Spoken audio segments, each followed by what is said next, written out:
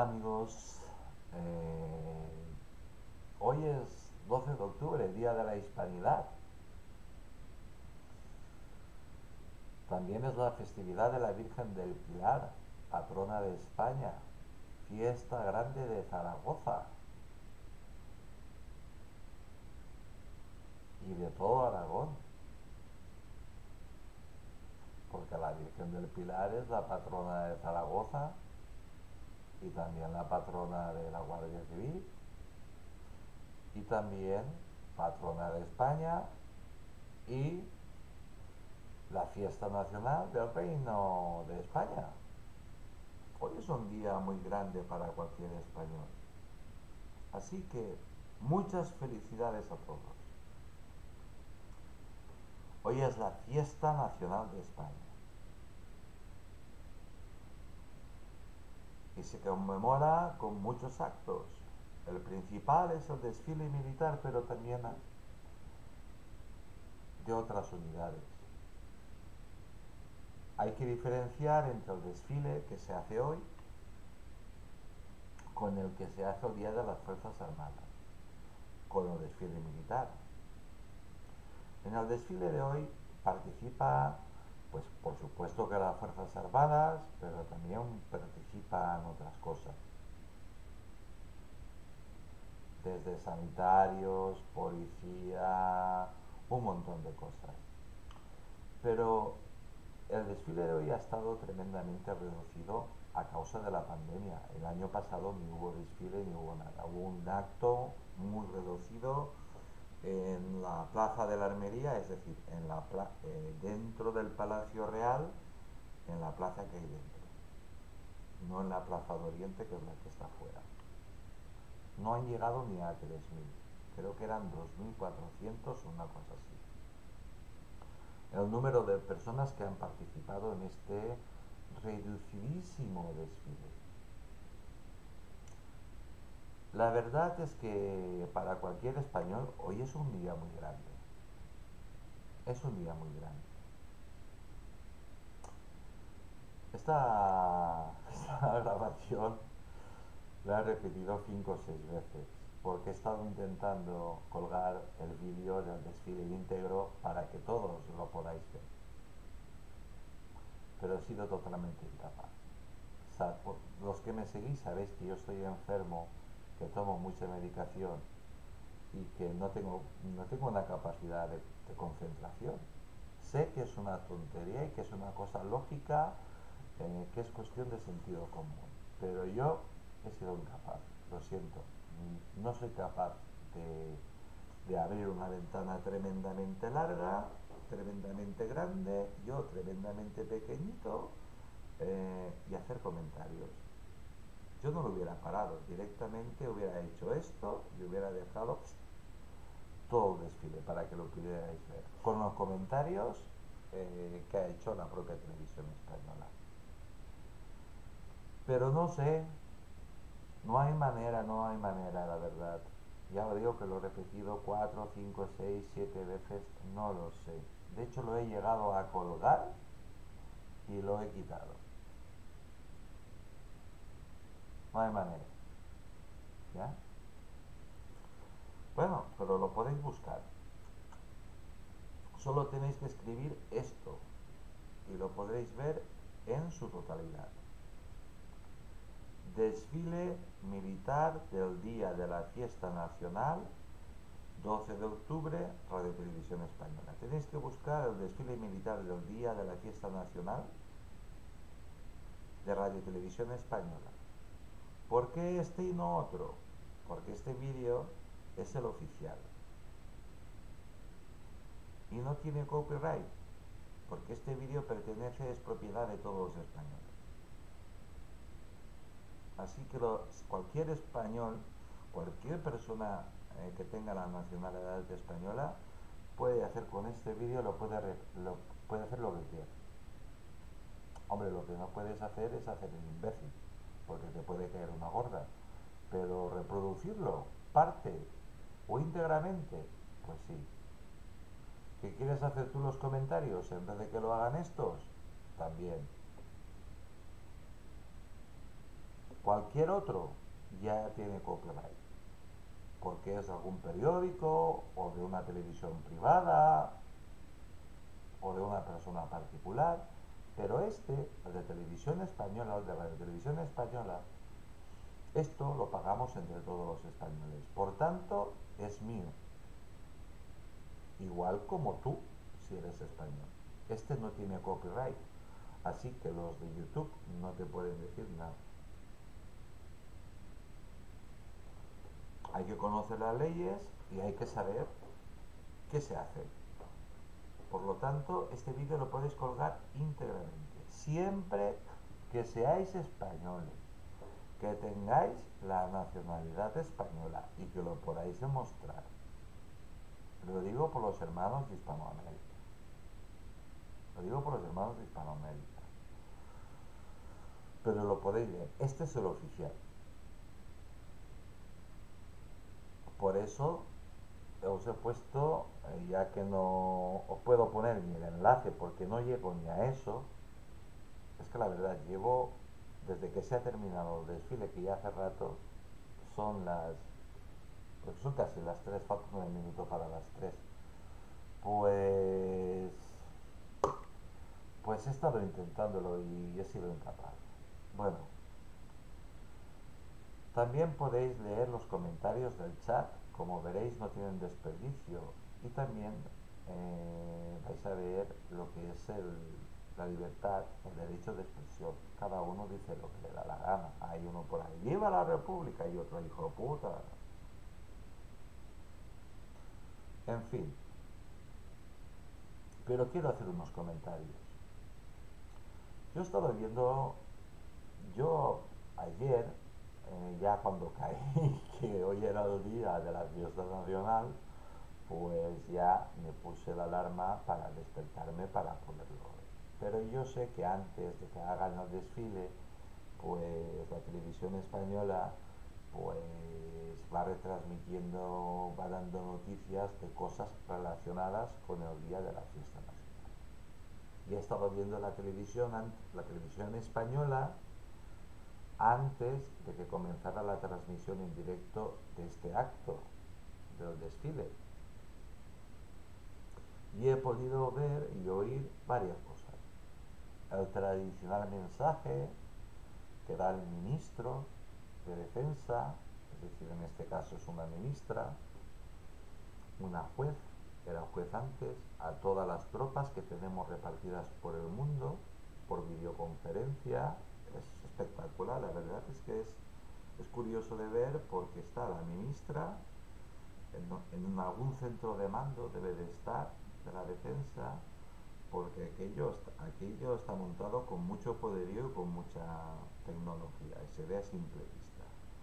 Eh, tremenda pantalla dividida en varias partes y ahí están todos los coroneles, todos los generales, todos los que están armando de las brigadas o lo que sea que haya desplegado por ahí. Porque tenemos, Defensa tiene a nuestras Fuerzas Armadas en estos momentos tienen a más de 3.000 soldados repartidos, a casi 3.000 soldados, hombres y mujeres, repartidos en lo que en España llamamos misión de paz. Pero la realidad es que esta, esta gente, estos soldados, estos hombres y mujeres, entran permanente en combate porque son atacadas. Pero, como van en misión de paz, no van dotadas para, para aguantar este tipo de batallas que se producen todos los días. Podéis encontrar aquí en en internet un montón de batallas, un montón de batallas.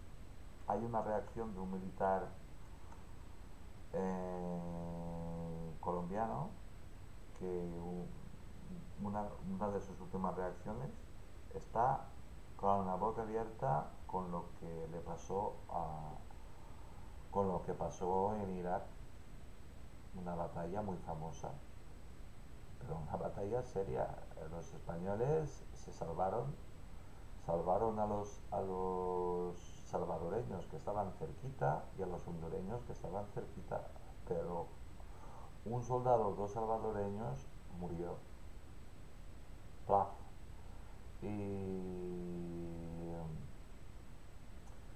Y tres o cuatro heridos que fueron curados porque los españoles, como van en misión de paz, pues llevan hospitales de campaña, buenos hospitales de campaña, llevan de todo menos un buen armamento. Armas llevan, son soldados, son profesionales, se defienden muy bien y atacan muy bien. Pero no llevan material pesado, no llevan ni un puto cañón, ni un puto lanzamisiles, no llevan nada, llevan armas largas, ya está, y una ametralladora pesada que va encima de, de los de los blindados de transporte, pero no creáis que son otra cosa del otro mundo, porque están en misión de paz. Están en misión de paz. Bueno.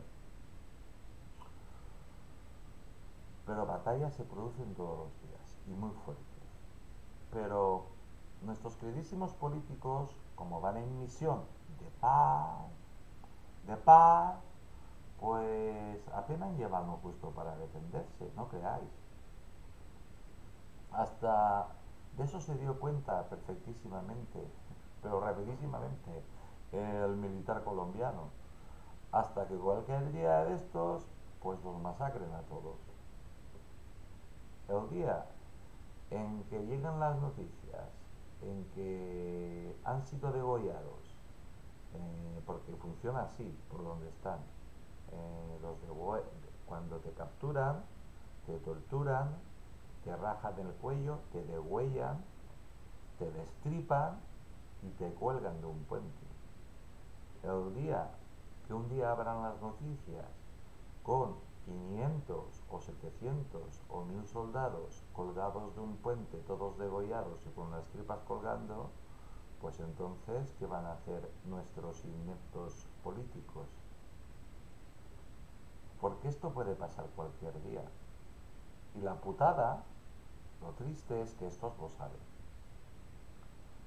En España, para los políticos pronunciar la palabra guerra es pecado y combate, pecado mortal, pero que o venial. Ellos van en misión de paz. Por lo tanto, ¿para qué necesitan blindados, helicópteros? ¿Para qué? ¿Para qué?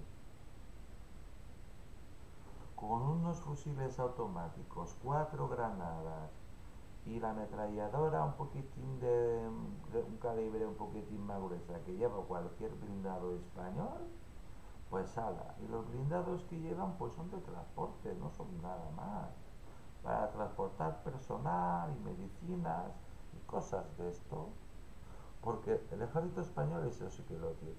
Allá donde va, por eso son tan queridos, pues empiezan a atender a, la, gente que va, que está allí, eh, los cuidan, eh, les dan chucherías a los niños, caramelo, juguetes, incluso ropa.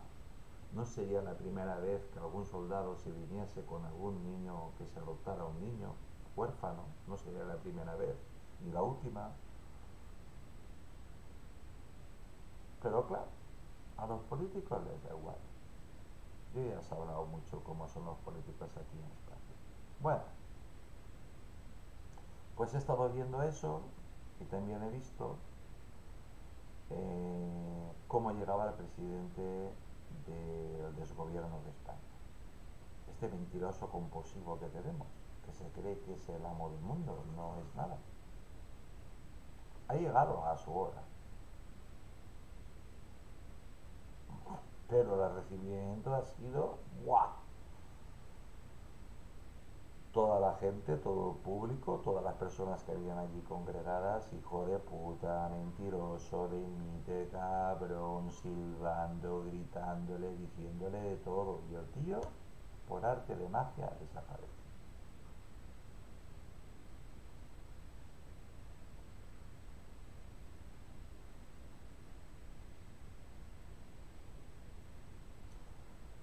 Han sido tremendos los abucheos a esto que tenemos de presidente del gobierno. Nada más ha hecho acto de presencia. En el acto.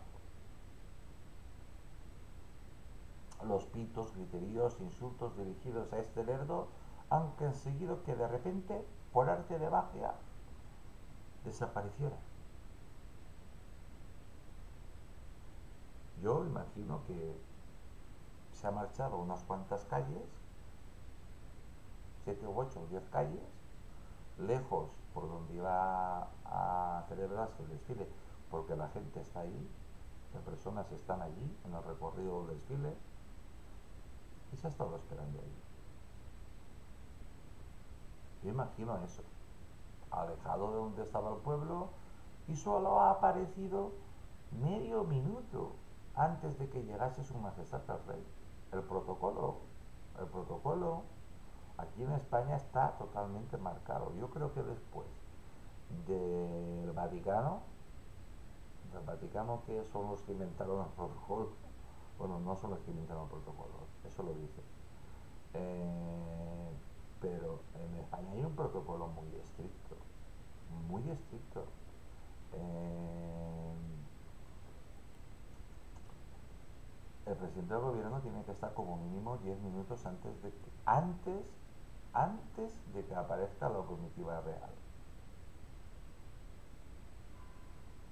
Se ha demorado tanto en aparecer ese sujeto por ahí que hasta los comentaristas, todos adeptos a este personaje, comisarios políticos, se han preguntado, ¿dónde está el presidente? No vemos al presidente, ¿dónde está el presidente? Preocupados, ¿eh? Eso lo vais a poder ver si veis el vídeo. O la y, y que no lo haya visto en directo, pues lo ha podido ver, porque eso ya era en directo. Eso ya era en el acto. Cuando la comitiva del jefe del Estado, capitán general de las Fuerzas Armadas Españolas, Su Majestad el Rey, acompañado de la reina y la infanta doña Sofía, porque la princesa de Asturias, doña Leonor, pues la Casa Real ha decidido que no venga porque está estudiando en el extranjero. Creo, creo que en Irlanda, en un colegio pues de pobres, bueno, un colegio de élite, eh, totalmente eh, es un internado. Y claro eh, esta adolescente pues está educando para ser reina de España y entonces si viene para hoy para estar presente en este acto pues cuando termine tiene que regresar pero tiene que hacer cinco días de cuarentena y pierde muchos días de clase. Pero el problema es que la semana que viene están los premios Príncipe, Princesa de Asturias en Oviedo. El equivalente al Nobel, vamos, o más que un Nobel. Entonces ahí sí que tiene que estar ella. Por lo tanto, la Casa Real, con muy buen criterio, ha decidido de que a este acto, pues que no esté, que no pasa nada y que esté en el otro. Por eso la infanta Leonor, mm, eh, la princesa Leonor no ha estado. A, los otros hijos del rey de España no se llaman príncipes ni princesas, se llaman infantas o infantes.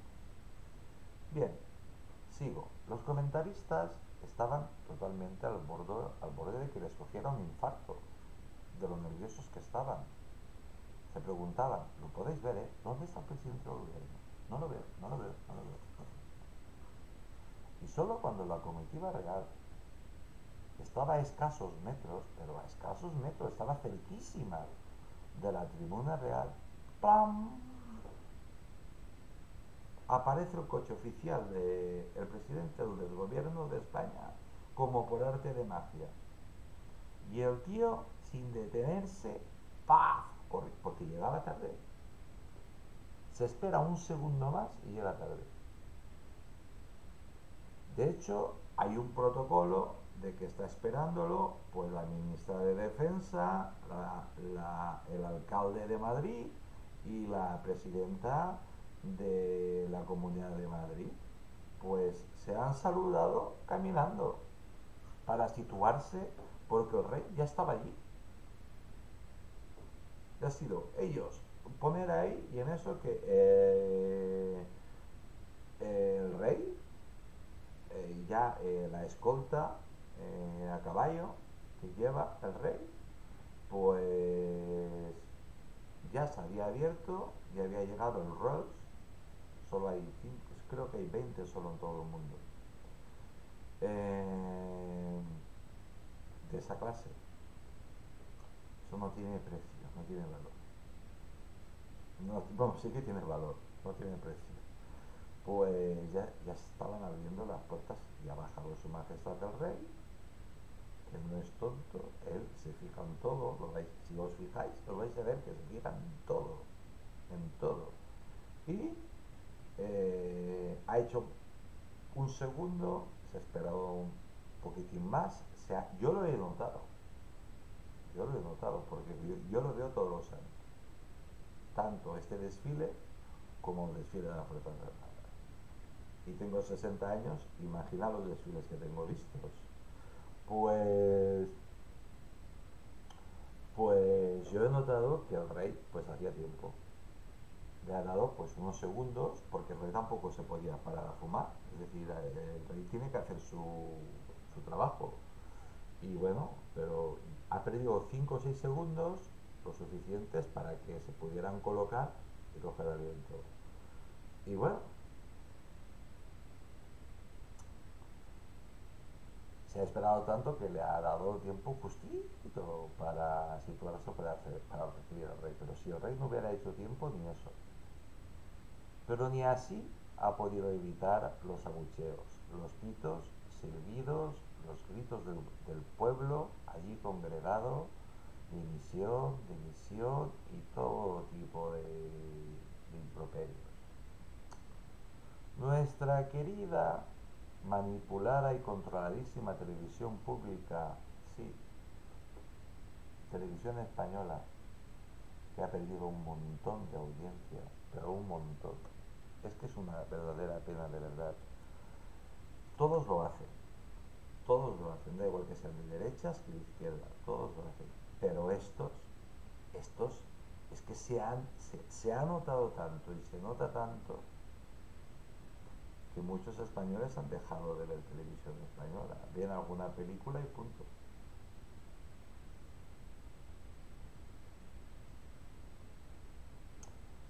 Han hecho un conato de bajar el sonido ambiente, pero no lo han hecho. Se lo han pensado mejor y no lo han hecho. Otras veces lo han hecho. Pero hoy se lo han pensado mejor y no lo han hecho. Pero eso, eso tiene una razón. Así que por una vez y con buen criterio han dejado que se escuchase todo lo que estaba sucediendo, incluso lo que ha dicho el pueblo soberano, hijo de puta, todo, de todo. Y mira que allí estaba eh, un comisario político, Sí, sí, un comisario político. Este no se merece ser llamado periodista. De apellido se llama Fortes. Este tío ha perdido toda la credibilidad como periodista. En la vida, en la vida tendrá credibilidad.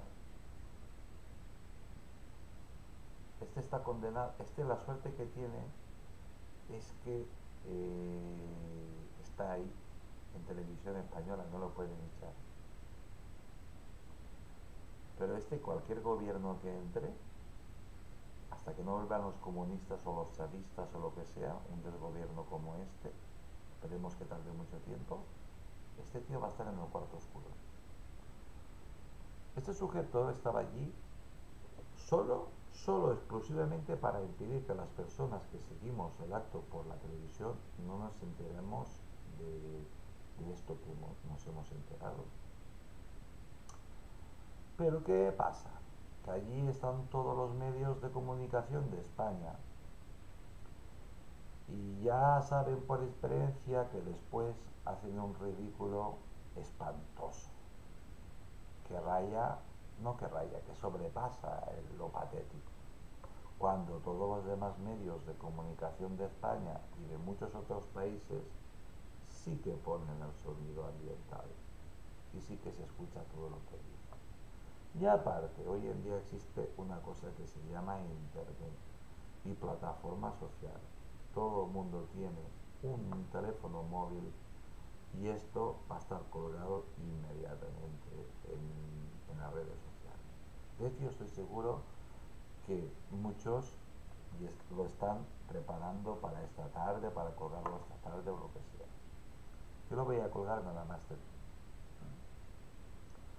Así que por una vez y con buen criterio, vuelvo a repetir, han dejado que se escuchase todo lo que se estaba, todo lo que estaba sucediendo, incluso lo han dicho.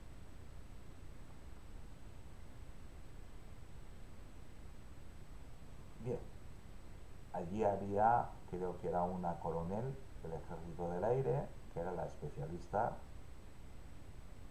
eh, militar que comentaba, pues explicaba qué era qué, lo que estaba sucediendo y todo lo que iba a, pasar y todo. Bueno, también comentar lo que siempre os digo, España no muestra nada de lo que realmente tiene, pero nada, y lo vais a poder comprobar, lo vais a poder comprobar aquí. Solo han mostrado cuatro cazas a Eurotyphon, Euro, eh, Eurofinger Typhoon, un helicóptero Tigre de combate y nada más. Nada más. El resto, el resto de material que han mostrado tremendamente desfasado. Os voy a, a dar un ejemplo. No han sacado ni un blindado, ni uno, ni uno ponen la excusa, ponen la excusa, la excusa de que los blindados que van con cadenas pues estropean las calles y eso cuesta mucho dinero. Eso lo, han dicho otros años, pero caramba es que tenemos muchos blindados a ruedas, con ruedas. No han sacado ni uno, ni uno. Sí que han sacado pues un catálogo de aviones de todo tipo. Dos, aparte del Eurofighter, pero estos no son de combate, hay todo tipo de aviones. Eh, dos mmm, bastante, muy, bastante modernos, fabricados en España, creados y pensados en España, es decir, españoles, y, y después un catálogo de aviones desfasados. Lo mismo con los helicópteros. Sí, han sacado los tigres, pero lo demás. Han sacado helicópteros del ejército de tierra, del ejército del aire, de la armada. Desfasado. Desfasado. Eso sí, pintaditos, muy bien pintaditos como le gustan a, al amigo Bolsonaro, pintaditos, muy arregladitos, pero desfasados. Nada que ver con lo que tenemos realmente. Bueno, yo también he observado mucho al rey.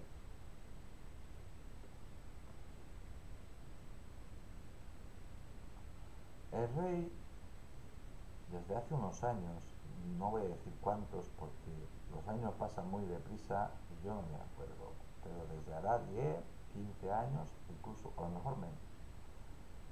La GEMAT, es decir, el Estado Mayor de la Defensa, le regaló un bastón o, una bengala, como queráis llamarlo, porque es así, una más grande.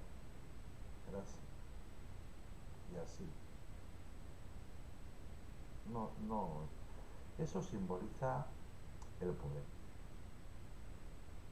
el poder, porque Su Majestad el Rey es el capitán general de las Fuerzas Armadas, es decir, es el jefe, el jefe supremo de las Fuerzas Armadas, de los ejércitos españoles. Pues bien, cuando el rey va vestido de militar y llega a un acto de estos, el eh, jefe GEMAT, es decir, el que le sigue a él, el que más manda después de él, le entrega a su majestad esa bengala.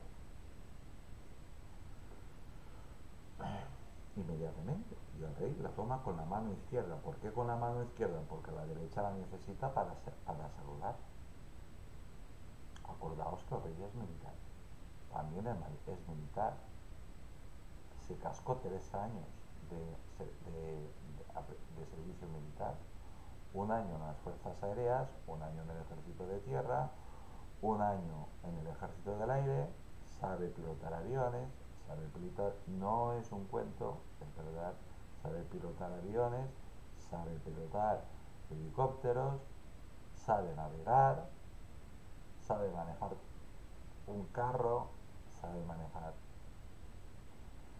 Eh, si por eso, si eso fuese poco, también estuvo en las academias eh, del ejército de tierra, en las academias del ejército del aire, donde se forman los, que van a ser los autos oficiales de nuestros ejércitos, y también en la, y también en la academia de la Armada. Y por si con eso no basta, pues también estuvo embarcado en el Juan Sebastián Elcano el buque escuela de la Armada Española. Se tiró medio año por ahí, por el mundo. Como uno más. Como uno más. Como uno más. Bueno. Pues yo me he fijado que en años anteriores le dan la bengalita, eso simboliza el mando supremo. Eso es como una especie de cetro, el mando supremo.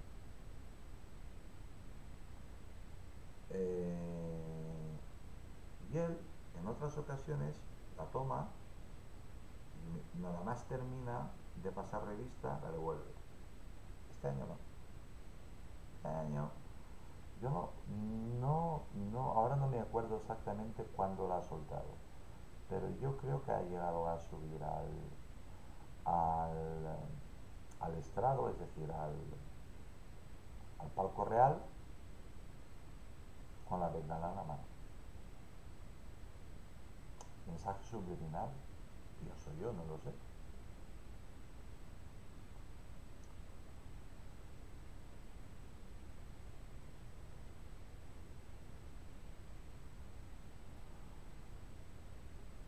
Y termino porque la reacción de la reacción no tiene mucho más que contar.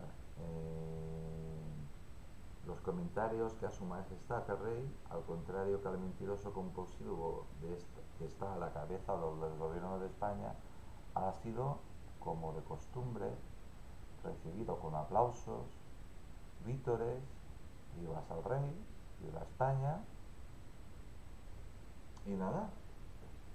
Eh, hasta aquí la reacción. Soy Tony Garcés y ahí tengo aquí escrito y aquí os dejo el desfile íntegro, no, no, no he podido. Bueno, gracias a mis suscriptores, a mis 85 suscriptores, eh, gracias a todos eh, los que vais a ver esto eh, y bueno, saludar a nuestros hermanos hispanoamericanos. Aunque ellos estén con la leyenda negra y con ese... Bueno, no voy a hacer ningún comentario para que, que pasen un buen día también eh, y nada. Sobre todo a los que celebran el Día de la Hispanidad, a los que celebran lo otro que les den por culo. En fin, amigos, eh, y mira, ya que estoy hablando de cosas de estas, os voy a dar una primicia, una noticia. Eh, pronto haré una reacción de temática militar, porque al año que viene eh, se reúne aquí la OTAN. Y también los que vais a ver o los que habéis visto el desfile, yo lo sabía.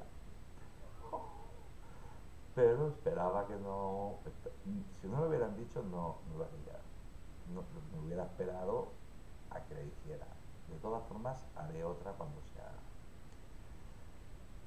Pues también han dicho que eh, van a, los comentarios. Eso lo ha dicho este que no merece ser nombrado periodista. Ha dicho, y lo ha dicho con toda claridad, pero ahí ha contado una verdad, de que posiblemente sea la última reunión de la OTAN. Porque Europa no está por la labor. Y también ha nombrado un país, Francia. Francia no está por la labor de seguir en la OTAN, ni que Europa esté en la OTAN.